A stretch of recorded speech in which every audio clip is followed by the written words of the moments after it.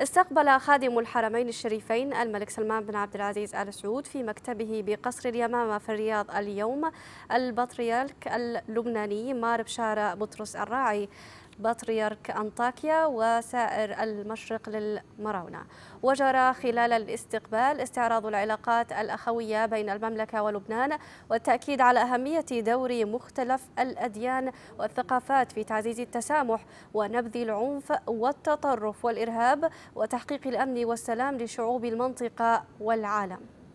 حضر الاستقبال صاحب السمو الملكي الأمير عبد العزيز بن سعود بن نايف بن عبد العزيز وزير الداخلية ووزير الدولة عضو مجلس الوزراء الدكتور مساعد العيبان ووزير الخارجية عادل الجبير ووزير الدولة لشؤون الخليج العربي ثامر السبهان.